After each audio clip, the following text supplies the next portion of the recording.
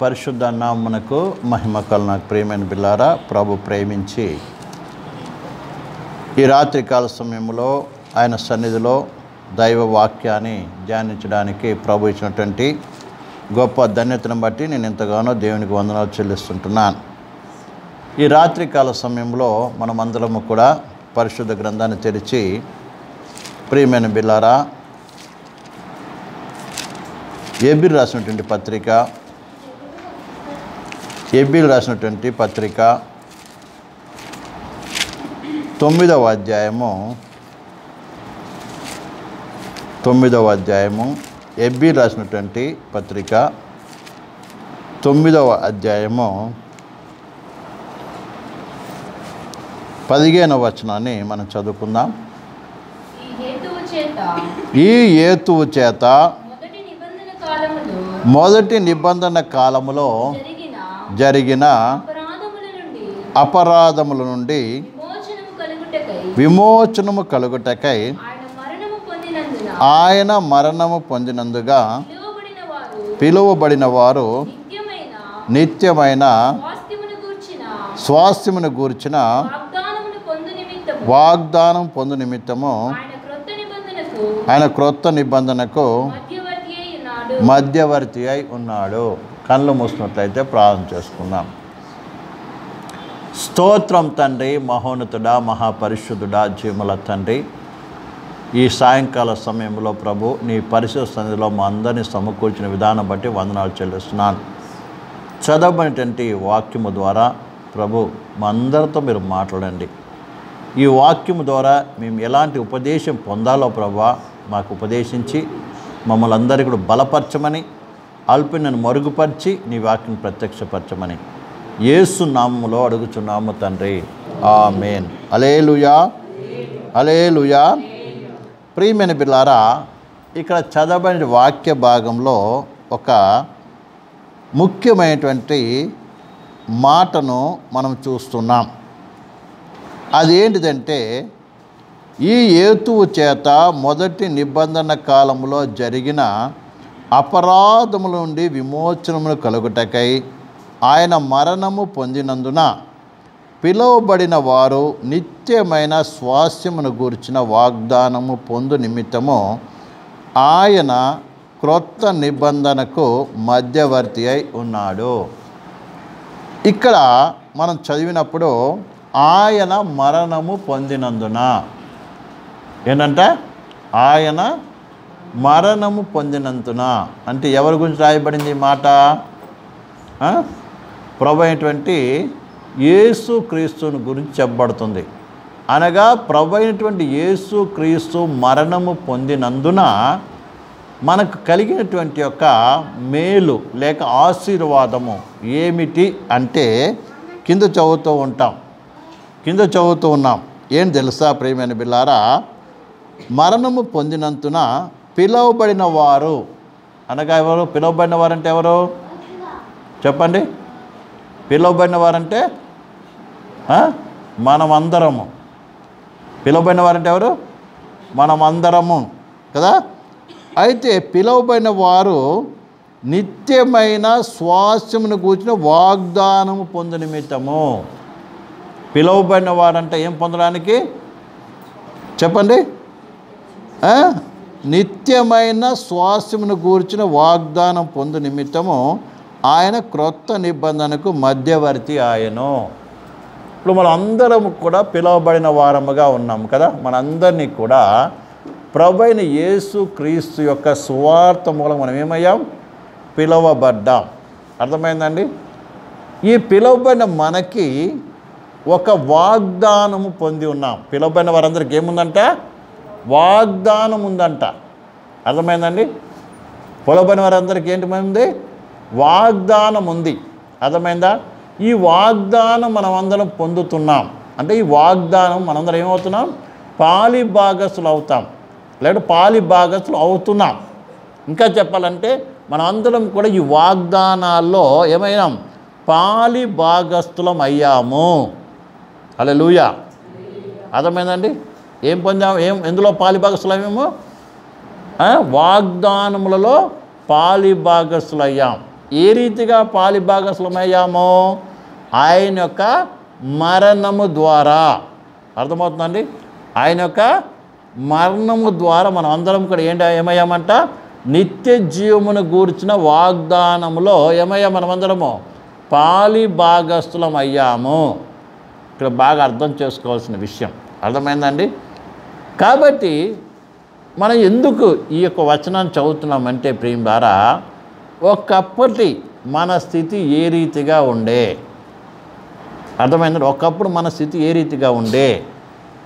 ఆయన మరణం పొందిన ద్వారా లేదా ఆయన మరణించడం ద్వారా మనం ఏ రకంగా వాగ్దానము పొంది ఉన్నాము? లేకుంటే వాగ్దానంలో ఏమయ్యాము?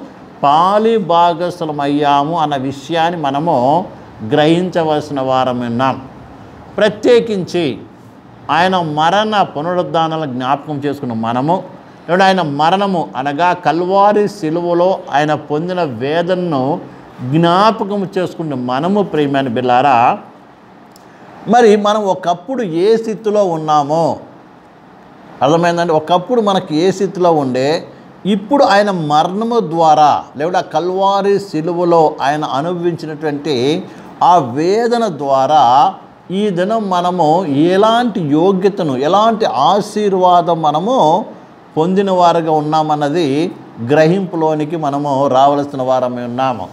ఎప్పుడైతే ఈ గ్రహింపు వస్తుందో ఆటోమేటిక్గా ప్రియమైన బిల్లారా ఆ యొక్క రొట్టెను విరుస్తున్నప్పుడు లేదంటే ఆ యొక్క బలలో పాలు పొందినప్పుడు మన యొక్క హృదయము కృతజ్ఞతతో నింపబడుతుంది. అర్థమవుతుంది? కృతజ్ఞత అంటే ఏంటిది?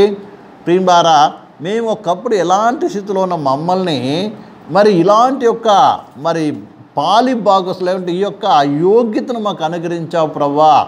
దీన్ని బట్టి మేము నీకు ఏమి చెల్లించగలమని ప్రవ్వా నా జీవితాన్ని అప్పగిస్తున్నాను. అర్థమైందా? దేవుడు చేసినటువంటి ఆ కల్వారి శిలువ యొక్క మరణము ద్వారా ప్రభు చేసిన గొప్ప కార్యాన్ని బట్టి లేకుంటే మనం పొందిన ఆశీర్వాదాన్ని బట్టి మనం పొందిన స్థానాన్ని బట్టి మనం ఏం కావాల్సిన వారమే ఉన్నాము? కృతజ్ఞమై ఉండవలసిన కృతజ్ఞతతో నింపబడవలసిన వారమేన్నాం కృతజ్ఞత భావముతో అర్థమైందండి? విరిగి నలిగిన మనసుతో మనం ఏం కావాల్సిన వారం విన్నాము ఆ యొక్క పరిశుద్ధ బల్లో పాలు పుచ్చుకోవాల్సిన వారం విన్నాం కృతజ్ఞతాస్థుతులతో నింపబడి అంటే కృతజ్ఞత భావముతో నింపబడి కృతజ్ఞతతో ఏం చేయవలసిన వారు మనం మనం ఆయన ఆయన సన్నిధికి ఆయనకి మన జీవితాన్ని ఏం కావాలి? అప్పగించుకోవాల్సిన వారమే ఆటోమేటిక్గా ఈ విషయాన్ని మనకు అర్థమవుతే నిజంగా నీ జీవితాన్ని పరిపూర్ణంగా ఆయనకి ఏం చేస్తున్నా అప్పగించుకుంటావు. ప్రభా నేనైతే ఏది ఇచ్చినప్పటికీ కూడా నువ్వు ఆ కల్వారి శిలువలో మరణించడం ద్వారా నాకు కలగజేసినటువంటి యొక్క మరి నాకు కలగజేసినటువంటి యొక్క ఆశీర్వాదం లేక నాకు ఇచ్చినటువంటి యోగ్యత నాకు కలగ నాకు కలగజేసినటువంటి నాకు ఇచ్చినటువంటి గొప్ప స్థానాన్ని బట్టి నేను ఏమీ కూడా ఇచ్చినా కూడా దానితో ఏం కాదు. సరే తోగదు కాబట్టి నా జీవితాన్ని ఏం చేస్తాను? పరిపూర్ణంగా నీ చిత్తానికి అప్పగించుకుంటానని మనం మనం ఏం చేస్తాం? ఏం చేస్తాం? అప్పగించుకుంటాం. ప్రియమైన ఎందుకంటే ఆనాటి పరిశుద్ధులు కూడా ఆ విషయాన్ని వారు అర్థం చేసుకున్నారు కాబట్టి వారు ప్రభు నిమిత్తము ఏమాత్రం ఏ విషయంలో ఏం కాలేదు? వెనకాడలేదు వెనకంజ వేయలేదు. వారు ఏం చేశారు? అడుగులు ముందుకు వేస్తూ ఏం చేశారండి? పరిగెత్తినట్టుగా మనం చూస్తూ ఉంటున్నాం. అన్నమాట అర్థమవుతుంది మీకు అందరికీ? కాబట్టి ఈ విషయాన్ని మనం బాగా అర్థం చేసుకోవాలి. ఇక్కడ క్లియర్ రాయబడింది ఏంటంటే వాగ్దానములో ఏం చేశాడంటే మనల్ని ఆ? వాగ్దానములో ఏం చేశాడండి? పాలి భాగసం చేశాడంట. వాగ్దానం పొందుకునేవారిగా చేశాడంట. అదే కదా రాయబడింది. చదవండి మళ్ళీ. పిలువబడిన వారు. నిత్య నిత్యమైన శ్వాసం గురించిన వాగ్దానం పొందు నిమిత్తము. చూసారండి? మనం అందరము కూడా అంటే పిలువబడిన మనం అందరము కూడా ఏం పొందుకోవడానికి? వాగ్దానము. ఏ వాగ్దానం అది? ఈ లోక జీవము గురించిన వాగ్దానం కాదు. ఏ గురించి? నిత్య స్వాస్యము గురించినటువంటి వాగ్దానము. పొందుకో నిమిత్తం ఆయన ఏమయ్యాడు?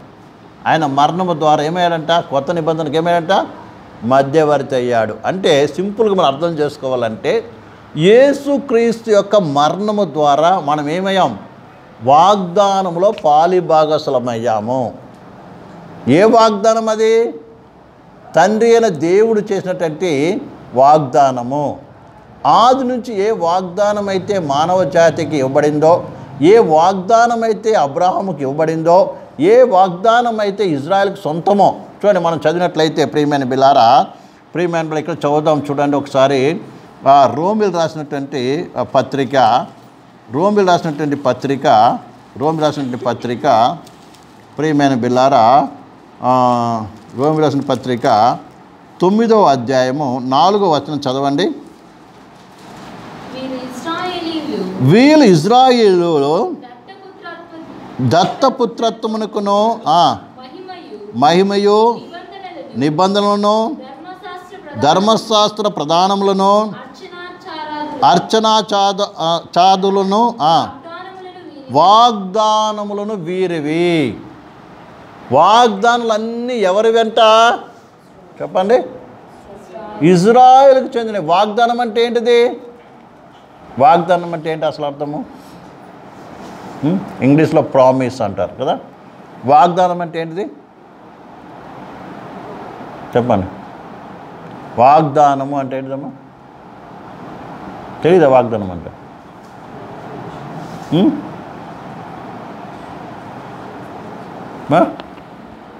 చెప్పండి. వాగ్దానం అంటే ఏంటిది? Hmm? మాట ఇవ్వటం. మాట నేను ఇది చేస్తాను. Without condition. అర్థమైందండి? ఎలాంటి యొక్క ఏమంటారు? షరతు లేకుండా నేను ఇది చేస్తాను అని చెప్పేది.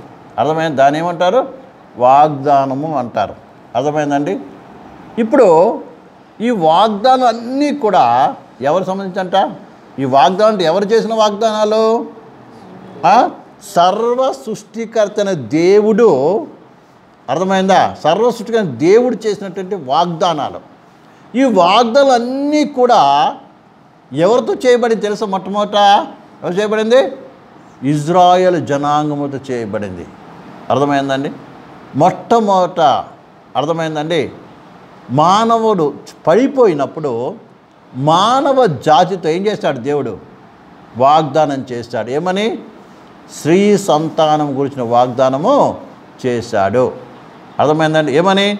స్త్రీ సంతానము వస్తుంది. ఆ స్త్రీ సంతానం ఏం చేస్తుంది నిన్ను? తా నీ తలను ఏం చేస్తుంది? చిత్తగొడుతుంది అని దేవుడు ఆనాడు ఆదాము పడిపోయినప్పుడు ఏం చేశాడు ఆయన? వాగ్దానం చేశాడు. ఆ వాగ్దానము తర్వాత ఎవరికో ఎవరితో ఎవరికి ఎవరు చేశాడు మళ్ళీ? ప్రీమియం ద్వారా అబ్రహాముతో దేవుడు చేశాడు. అర్థమైందండి? నీ మూలముగా నీ సంతానం మూలముగా ఏమవుతుంది? సకల జనులు ఏమవుతారు? ఆశ్రయింపడతారు అని దేవుడు అబ్రహాముతో వాగ్దానం చేశాడు. అబ్రాహాము ద్వారా ఇస్సాకుకి యాకోబుకి ఆ తర్వాత ఇజ్రాయిల్కి దేవుడు ఏం చేశాడు? వాగ్దానము చేశాడు. అర్థమైందండి? వాగ్దానాలకు ఇప్పుడు చదవని ఇవన్నీ కూడా ఎవరికి సంబంధించింది? ఇజ్రాయెల్కి సంబంధించింది. యూదులకు సంబంధించింది. మనమందరం ఎవరమండి? అనదులో అన్యజనులు. మరి అన్యజనుల మీద మనకి ఏదైనా వాగ్దానం ఉందా?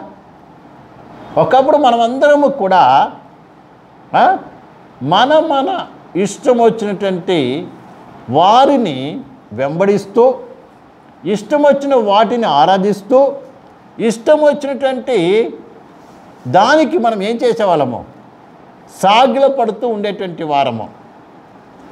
అలా ఇంత చేసినప్పటికి కూడా వాళ్ళు ఎవ్వరు కూడా మనకి ఎలాంటి వాగ్దానము చేయలేదు ప్రత్యేకించి నిన్ను రక్షిస్తానని కానీ నీ పాపాలు క్షమిస్తానని కానీ అర్థమైందా?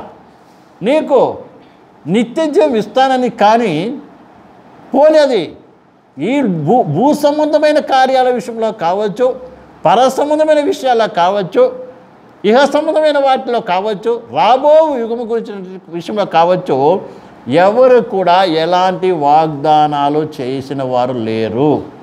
ఉన్నారా? ఎవరున్నారండి? ఎవరన్నా? ఏ గ్రంథాలైనా ఉందా?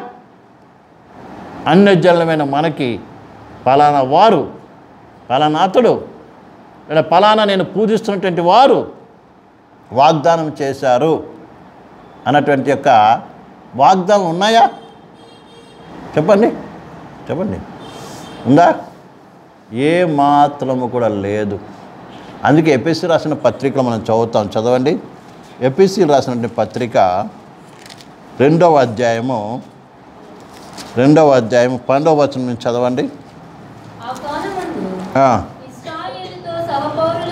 చూడండి. ఆ, కాలమందు ఇజ్రాయేలుతో సహపౌరులు కాక కాక పరదేశులను వాగ్దాన నిబంధనలు లేని పరజనులను నిరీక్షణ లేని వారును లోకమందు దేవుడు లేని వారై ఉండి క్రీస్తుకు దూరస్థలమై దూరస్థులమై ఉంటేమి. ఇక్కడ జాగ్రత్త గమనించడం ఒకప్పుడు అంట మన స్థితి ఈ ఎపిఎస్సి పత్రిక అపోసిన పౌలు అన్య జనుల నుంచి రక్షింపబడిన వారికి రాస్తున్నాడు. ఎపిసి నగరం అనేది అన్య జనుల యొక్క పట్టణము. అక్కడ రక్షింపబడినటువంటి వారు అందరూ ఎవరు అన్యజనులు కాబట్టి అన్యజనులతో కు- మాట చెప్తున్నాడు ఈ మాటలు. అర్థమైందండి? ఒకప్పుడు అన్యజనులు ఏంటంటే వారు ఏ స్థితిన ఉన్నారు అన్న విషయం. అదే రీతిగా ఈ వాక్యాన్ని బట్టి మనం చూసినట్టయితే ఒకప్పుడు మనం కూడా ఏ రీతిగా ఉన్నాము? అర్థమైందండి? ఏ రీతిగా ఉన్నామంట చదువుతాం చదవండి అక్కడ? ప్రేమ ద్వారా ఆ కాలమందు అంటే రక్షణ పొందక ముందు మేము మనం ఏమైందాం ఇజ్రాయిలతో ఏం కాదంట? సహపౌరులము కాదంట.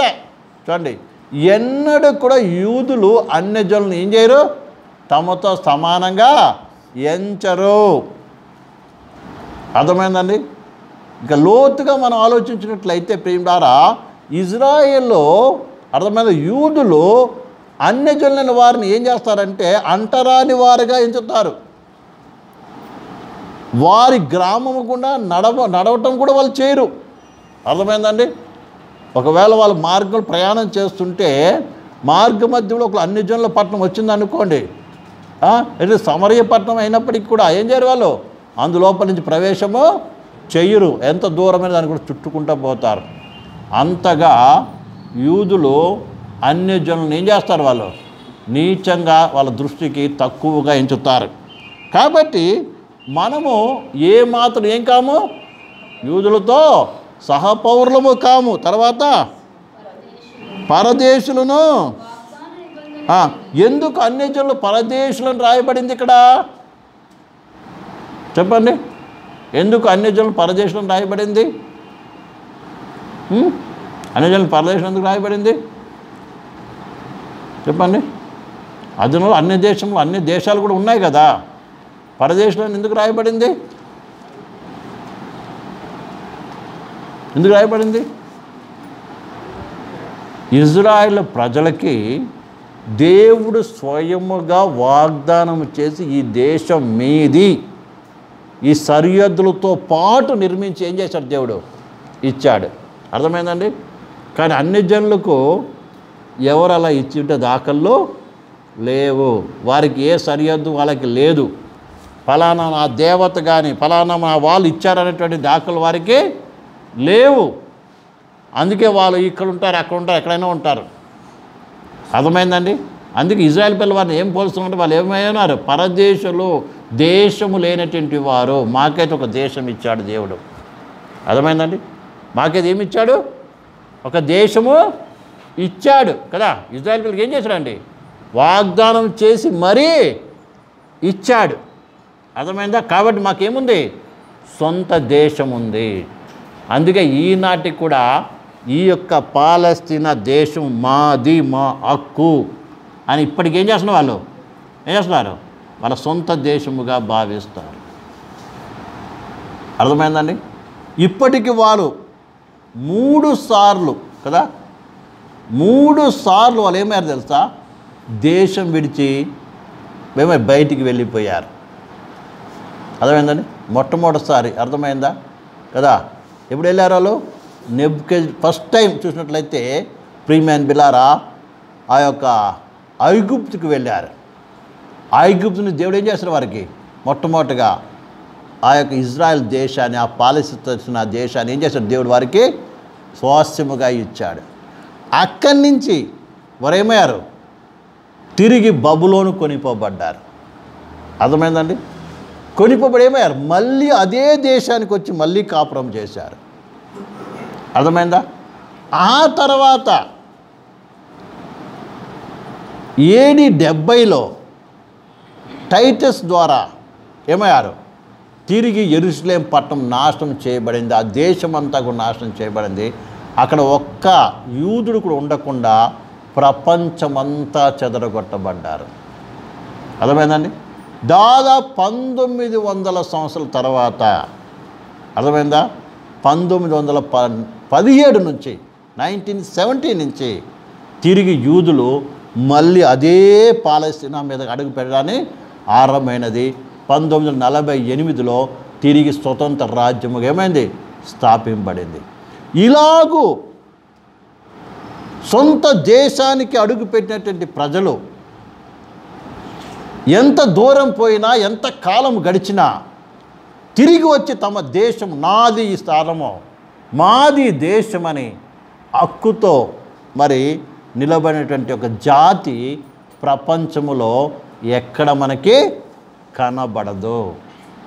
అందుకే వారు చెప్తున్న మాట ఒక యూదుడుగా అపోసిన పౌలు కూడా చెప్తున్న మాట ఏంటి తెలుస్తా మీరేమై ఉన్నారు ఒకప్పుడు? పరదేశులకు ఉన్నారు. ఎందుకు తెలుసా? మేము మాకు సొంత దేశం ఉంది. వీళ్ళు ఎవరికి ఏం లేదు. సొంత దేశము లేదు. సొంత దేశము లేదు. మీరందరూ పరదేశులు.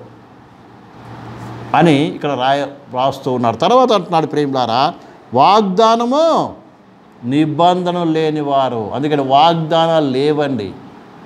దగ్గర వాగ్దానం అసలు వాగ్దానాలు ఎవరెవరివి ఎవరికి సంబంధించినవి? ఇజ్రాయిల్ సంబంధించి యూదులకు సంబంధించింది. మనకి వాగ్దానంతో ఏమాత్రము పర్లేదు ముఖ్యంగా నిత్య జీవమును గురించిన వాగ్దానం అంతకన్నా లేదు. తర్వాత ఇంకేమన్నాడు? నిరీక్షణ లేని వారు లోకమందు దేవుడు లేని వారుగా ఉంటుంది దేవుడు లేని వారుగా ఉన్నామంట. మనకు ఫలానా దేవుడు అని చెప్పుకోవడానికి ఏమైనా ఉందా? చెప్పండి. నాకు పలానా దేవుడు అండి అని చెప్పుకునేటువంటి అధికారం ఒకప్పుడు ఉండేదా మనకి? చెప్పండి. లేదు కదా. ఏది కనబడితే దాన్ని మొక్కుతూ అర్థమైందా? ఉండేటువంటి వారము. అంతే కదా? ప్రేమ వారా ఏది నిజమైన దేవుడో తెలియదు ఏది ఉట్టిదో తెలియదండి. కనబడిన వాళ్ళందరికీ మొక్కుతూ ఉండేవాళ్ళం. అవసరమైతే మనమే ఒక దేవుని తయారు చేసుకునేటువంటి వారము. హల్లెలూయా. అది మన స్థితి. అలాంటి మనల్ని అర్థమవుతుందండా? అలాంటి మనందరి కొరకు. అర్థమవుతుందండి? చూడండి రోమిలాసిన పత్రిక పదిహేను ఎనిమిది చదవండి. పదిహేను ఎనిమిది. రోమి రాసిన పత్రిక పద్దెనిమిది పదిహే పదిహేను పద్దెనిమిది ఎనిమిది. నేను చెప్పునది ఏమనగా పితలకు చేయబడిన వాగ్దానాల విషయం విషయంలో దేవుడు సత్యవంతుడు దేవుడు సత్యవంతుడని స్థాపించుటకు అన్ని జనులు ఆయన కనికరమును గురించి ఆయన కనికరంను గూర్చి దేవుని మహిమపరచుటకును క్రీస్తు సున్నతి సున్నతి గలవారికి పరిచారకుడాయను. చూడండి ఎనిమిది మళ్ళీ చదవమ్మా. నేను చెప్పున్నది ఏమనగా పితలకు చేయబడిన వాగ్దానముల విషయం వాగ్దానముల విషయములో దేవుడు సత్యవంతుడని స్థాపించుటకును అన్యజనులు ఆయన కనికరంను గూర్చి దేవుని మహిమపరచుటకును. క్రీస్తు సున్నతి గలవారికి. పరిచారకుడాయను. ఇక్కడ స్వస్థము ఒక చక్కటి మాట రాయబడింది. ఏం తెలుసండి? కాబట్టి నేను చెప్పినది ఏమనగా పితలకు చేయబడిన వాగ్దానము. ఏంటి పితలకు చేయబడిన వాగ్దానం? ఇందాక చెప్పుకున్నాం కదండి? అబ్రహాముకు చేయబడిన వాగ్దానము. ఇజ్రాయిల్ పొందినటువంటి వాగ్దానము. అర్థమైందండి? ఈ వాగ్దానం విషయములో అర్థమైందండి? దేవుడు సత్యవంతుడిని స్థాపించుటకు దేవుడు ఎవరంట? దేవుడికి లక్షణం ఏంటి తెలుసండి సత్యవంతుడు. దేవుడు ఎప్పుడు కూడా ఎవరంట? సత్యవంతుడు అంటే అర్థం ఏంటిది? చెప్పండి. సత్యవంతుడు. దేవుడు సత్యవంతుడు అంటే ఏంటి అర్థము? దేవుడు ఎవరు? సత్యవంతుడు అంటే ఏంటిది?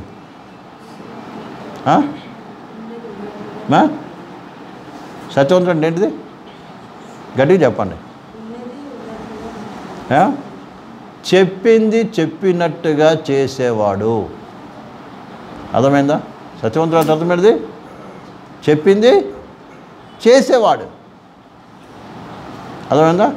చెప్పింది చెప్పినట్టుగా చేసేవాడు. ఇప్పుడు మనం కూడా సత్యవంతుడైన దేవుని మనం నమ్ముకున్నాం. కదా? మరి మనం చెప్పింది చెప్పినట్టు చేస్తున్నామా? వాక్య విషయంలో కాదండి. ఎవరికైనా ఏదైనా చెప్తామనుకోండి అది చెప్పినట్టు చేస్తామా? మరి ఎలా ఆయన బిడ్డమవుతాం చెప్పండి? చెప్పింది చెప్పినట్టు మనం చేయకపోతే ఆయన బిడ్డలం ఎలా అవుతాం? దేవుడు ఎవరు? సత్యవంతుడు. ఆయన చెప్పింది ఏం చేస్తాడు? చేస్తాడు. అలాగే తన బిడ్డలు కూడా ఎలాగే అలాగే ఉండాలని కోరుకుంటున్నాడు. అది విషయానికి వద్దాం ప్రియమైన బిల్లారా దేవుడు వాగ్దానం చేశాడు. ఏమని తెలుసా? ఏమని? స్త్రీ సంతానం వస్తుంది. అది ఏం చేస్తుంది? ఏమవుతుంది? ఆ యొక్క సాతాన్ని ఏం చేస్తాడు? తలను చిత్తగొడతాడు. ఒకటి. రెండోది అబ్రహాముతో చేశాడు వాగ్దానం. అబ్రహాముతో చేశాడు వాగ్దానం ఏమని? నీ మూలముగా ఏమవుతుంది? సకల జనులు ఏమవుతారు? ఆశ్రయింపడతారు అయితే ఇప్పుడు వచ్చినటువంటి సమస్య ఏంటంటే ఈ అబ్రాహము చేసినటువంటి వాగ్దానము మిగతావన్నీ కూడా ఏమై ఉంది? యూదుల పరమై ఉంది. కదా ధర్మశాస్త్ర ప్రకారం ఇవన్నీ ఎవరికి? యూదునికి మాత్రమే చెందుతుంది. అన్నజనులకి చెందదు. కానీ దేవుడు ఏం చేశాడు? అబ్రాహంతో ఏం వాగ్దానం చేశాడు? నీ మూలముగా సకల జనములు ఆశింపడతారు. కానీ ధర్మశాస్త్రం ప్రకారం ఏమైంది? ఇదంతా ఎవరికి సంబంధించింది?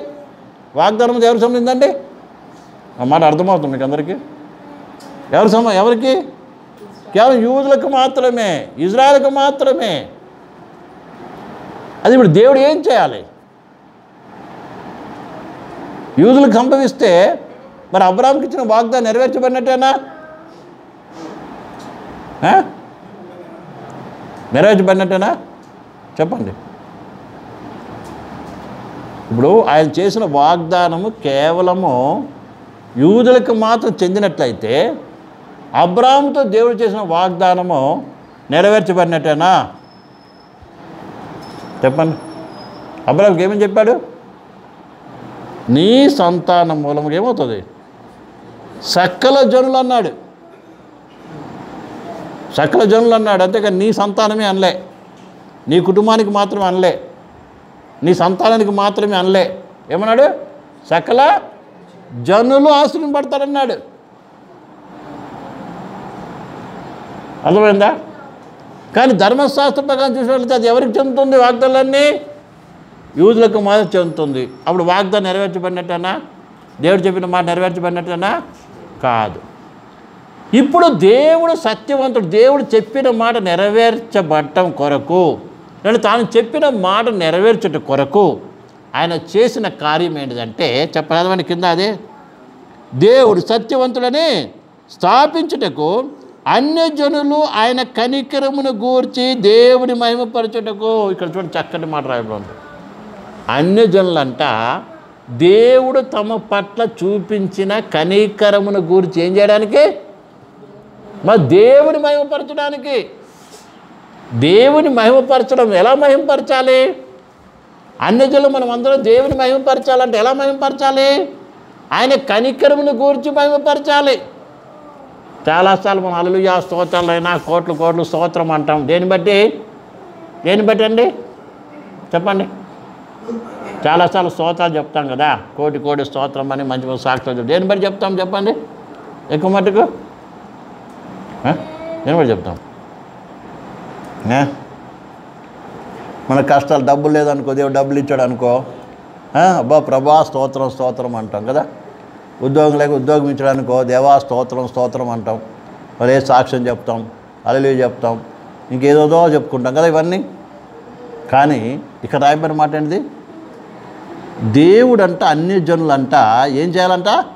ఆయన ఒక కనికరమును బట్టి ఏం చేయాలంట? ఏంట కనికరము? కనికరం అంటే తెలుసు కదా? అన్ని జనులు ఏం చేయమలమ్మా అన్ని జనులు ఆయన కనికరమును గూర్చి దేవుని ఏంటి కనికరము? ఇప్పుడు మనందరం ఎవరు? అన్ని జనులం కదా? అన్ని జనులమైన మన మంట ఆయన కనికరమును గూర్చంట. ఏంట కనికరము? అమ్మా ఏంట వాగ్దానము?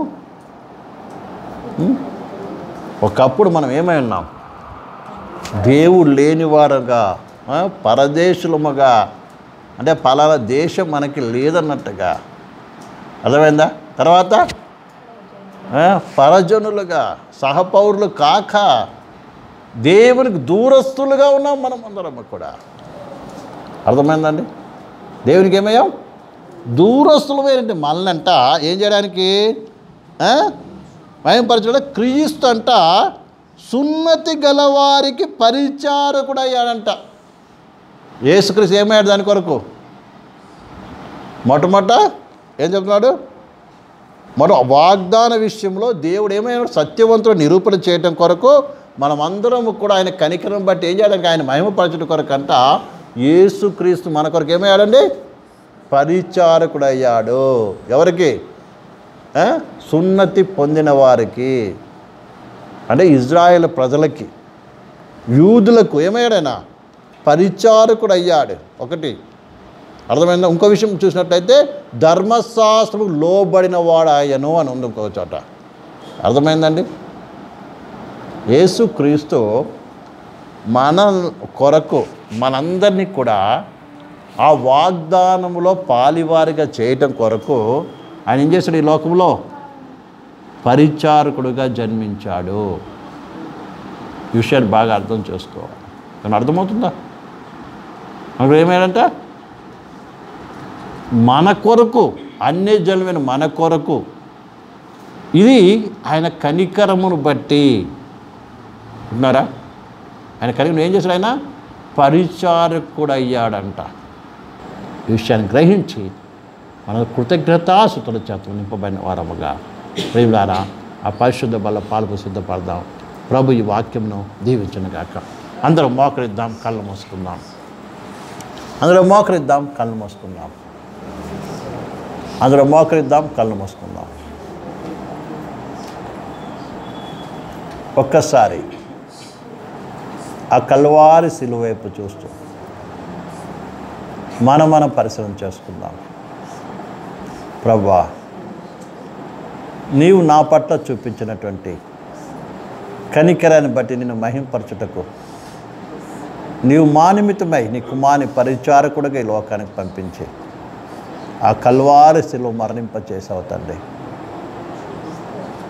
అబ్రాహంతో చేసిన వాగ్దానమునకు సమవారసులుగా చేయుట కొరకు మా కొరకు నీ కుమారుడైన ఏస్తును మరణానికి అప్పగించావయ్యా. మానించి నీ కుమారుడ కల్వారి శిలువ మీద ప్రభు ఆ మూడు మేకల మీద వ్రేలాడుతూ బహు వేదన అనుభవింపచేసావు తండ్రి బహు దుఃఖాన్ని అనుభవింపచేసావు బహు బాధను అనుభవింపచేసావు బహు అవమానాన్ని భరింపచేసావు బహు భయంకరమైనటువంటి మానసిక వ్యధను అనుభవించటం చేసావు తండ్రి అయ్యా మేము దేనికి పనికొస్తామని ప్రభు? ఏ యోగ్యత మాకు దగ్గర ఉందని నువ్వు ఇంతగా మా పట్ల కృప చూపించావు ప్రేమ చూపించావు దయ చూపించావు. అయ్యా నువ్వు చూపించిన కనికర వందనాలు ప్రభు. నీ కుమారుని యొక్క మరణము ద్వారా మా అందరినీ నీ బల్ల ఎదుగు చేర్చావు నాయన. హాలూయ స్తోత్రం. నిజం కృతజ్ఞమై ప్రభు. నిజంగా కృతజ్ఞమై. మన ఈ రాత్రిగా కొద్ది క్షణాల ప్రభుని శుతిద్దాం ఆలోదిద్దాం హాలూయ పైసల్లో తండ్రి నిజంగా మా పట్ల చూపిన కృపను బట్టి వందనాలయ్యా నిజంగా మా పట్ల ఎంత జాలి చూపించావు. ఎంత కనికరం చూపించావయ్యా. నీ కనికరం బట్టి స్తోత్రాలయ్యా నీ కనికరం బట్టి స్తోత్రాలయ్యా నీ కనికరం బట్టి వందనాలు ప్రభు. హాలూయ నీ కనికరం బట్టి సుతులు స్తోత్రం తండ్రి. హాలూయ ప్రైసల్వాడు ఏసయా స్తోత్రం. ఏసయా స్తోత్రం. స్తోత్రం స్తోత్రం స్తోత్రం. నీ కుమారి మరణం ద్వారా ప్రభు. యూదులతో పాటు ఇజ్రాయెల్తో పాటు ప్రభు. సమాన వారసులుగా చేశావు. నువ్వు వాగ్దానంలో పరిపూర్ణంగా ప్రభు పాలిభాగస్తులుగా చేసినందుకు వందనాలు ప్రభు. వందనాలు ప్రభు వందనాలు ప్రభు అని కృతజ్ఞమై ప్రభుని సూచిద్దాం హాల్లో థ్యాంక్ యూ చీజ్ థ్యాంక్ లాడ్ ఏసయా స్తోత్రం. ఏసయా స్తోత్రం. ఏసయా స్తోత్రం. తండ్రి మహోన్నతుడా మహాపరిశుద్ధుడా జీవముల తండ్రి. నీ బంగారు పరిశుద్ధ నామనికి స్తోత్రం చెల్లిస్తున్నాం నాయనా. నీ అపారమైన కనికరం బట్టి ప్రభా నీకు సుతులు స్తోత్రాలు చెల్లిస్తున్నాం నాయన. నీ కనికరాన్ని బట్టి మేమందరం నిన్ను మహిమపరిచినట్లుగా ప్రభు నీ కుమార్ని ఈ లోకం పరిచారుడిగా పంపించి మా కొరకు కల్వారిస్థిలో మరణింప చేసిన విధానం బట్టి వందనాలు స్తోత్రాలు చెల్లిస్తున్నాం. నిజంగా ప్రభు అయా ఎందుకు పనికిరాని మా పట్ల? ఎన్నికలేని మా పట్ల? నీ విరోధులము శత్రుమైన మా పట్ల? మరణానికి పాత్రమైన మా పట్ల? నువ్వు చూపించినటువంటి కనికరం బట్టి వందనాలు ప్రభు. ఇటు కనికరం పొందిన మేము నేను మహిమపరుస్తూ ప్రభు. కృతజ్ఞమై ప్రభు. అయా జీవించటంటే కృతజ్ఞతా బుద్ధి మాలో ఒక్కొక్కరు పుట్టించి నిత్యము నేను మహింపరిచేటువంటి గొప్ప కృపాభాగ్యం దయచేయమని అలాగే ప్రభు అటు కృతజ్ఞతా బుద్ధితో ప్రభు నీ పరిశుద్ధ బలలో పాలు పొందడానికి కృప మాలో ఒకరు దయచేయండి మహిం పొందండి. కూడిన ప్రతి బిడను అటువంటి స్థితి దయచేయమని దేవా అలాగే రేపు జరగనున్నటువంటి కోరికలు కూడా తోడై ఉండండి. రావాల్సిన ప్రతి బిడ్డ సగం నడిపించి నమ్మకం తెచ్చుకోమని. ఈ రాత్రి కథ ప్రతి ఒక్కరిని అసలు సమర్పిస్తూ వెళ్తున్న బిడ్డలతో కుమాసం ఉంచమని. ఏ శ్రమలు వెళ్ళిపోతున్నాం తండ్రి. ఆమె ఆమె అందరికీ కూడా యేసుకృష్ణంలో వందనాలు. ప్రేసులో